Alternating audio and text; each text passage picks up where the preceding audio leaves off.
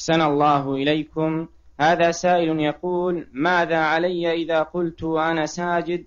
يا رب عهد علي بكل أسبوع عمرة إن استطعت. لا ينبغي هذا لا تقل هذا. اعتمر بدون عهد وبدون نذر. خلك على سعة. النبي صلى الله عليه وسلم نهى عن النذر.